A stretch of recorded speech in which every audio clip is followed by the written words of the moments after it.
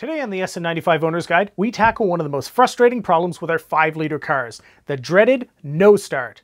If you're watching this to diagnose a current no start problem, I know the frustration, jump to the timestamp on the screen to shortcut directly to the process. For the rest that want the whole story, I'll see you after the title.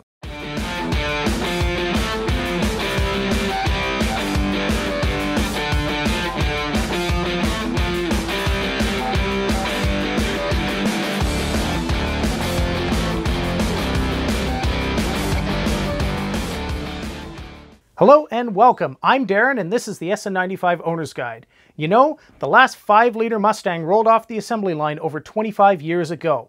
And one of the most common gremlins to crop up is a no-start condition, especially ones that frustratingly come and go. The cause is usually traced back to one or more ignition components that have simply exceeded their service life.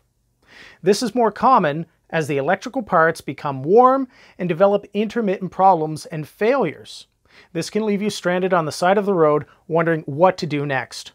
Well, over the next few minutes, we'll cover the components, the tools you'll need, the tests, and we'll talk about replacement parts. Just before we get to that, I'd like to share that this video is created with support from Ted Jenkins at Tuning Innovations, and I ask you to check out his Facebook page and give him a like, because this video would not have been made without the contribution of his experience and expertise in SN95s. You'll find links to his site in the description below. First off, let's find the parts we're going to be talking about. For this video, we'll be using Fred's 1994 Mustang GT, because it underwent the same diagnostic procedure over the summer and prompted this video. Don't worry if things look a little different on your Mustang, all the parts we're looking at are going to be in the factory locations on Fred's car. Looking under hood, you'll need to know the location of the coil, near the power steering pump, the distributor and connector on the front middle of the engine. The TFI module is mounted on the passenger side inner fender, it hides under the stock airbox and can be quickly identified by the aluminum heatsink. On the inside, you'll need to locate the fuse panel near the hood release and the check engine light on the dashboard. We'll also be interacting with the battery, but that should be pretty easy to find. With all the parts identified, onto the tools. At minimum, you'll need a fully charged battery, an LED test light, and a way to check for spark, like an inline spark tester or inductive timing light. With the parts and tools covered, let's get to the diagnostics. To do no-start diagnostics, a vehicle must not start and run, or these tests will all register a pass. Seems obvious, but if it restarts, you'll have to wait for the gremlin to recur before you'll be able to properly test. Assess your system, looking for an aftermarket ignition box, fully charged battery, and fuel in the tank. Search for obvious harness issues, blown fuses, or a malfunctioning anti-theft system. If any of these are present, bypass the aftermarket ignition, be sure not to skip this, and resolve any other obvious problems. A brief note before we get started.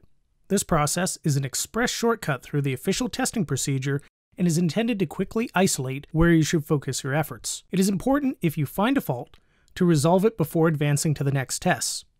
We won't get into chasing wiring and pinpoint tests here, but we will cover detailed module diagnosis in a future video. Now with the visual check complete and the disclaimer out of the way, let's get to the good stuff. We start by turning the key to the on position.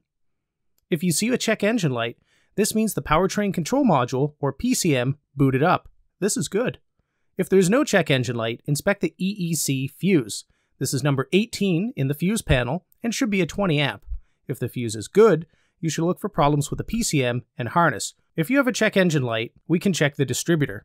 Turn the key to crank. If the check engine light goes off, the PCM is getting pip signal. You may also see the tachometer needle jump during this time. This means the distributor pickup is good, if the check engine light does not go off during cranking, inspect the pip and the distributor. If the dizzy passes, next attach a LED test light from the battery negative or clean ground into the tan yellow coil wire with the key on. It should light up weakly. Crank the engine over. The test light should flash. Not flicker from voltage drop, but actually flash. If it flashes, then a command is coming from the TFI module. If it does not flash, inspect or replace the TFI module. Now we move on to the coil. Test for 12 volt at the coil red with light green wire by placing the test light on the battery negative and back probing the red and light green wire.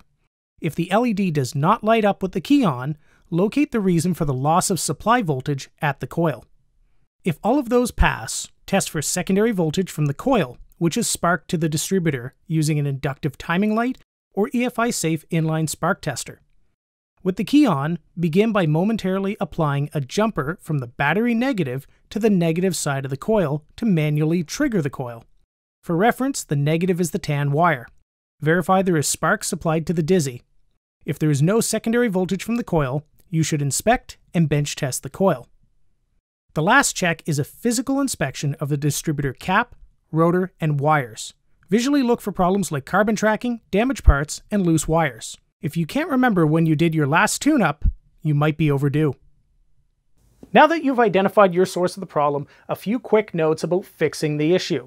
You may have to deep dive once you've identified the failing subsystem. For that, you should look into the Ford Electrical and Vacuum Troubleshooting Manual, or EVTM, for your specific year. They can be found online at a modest price.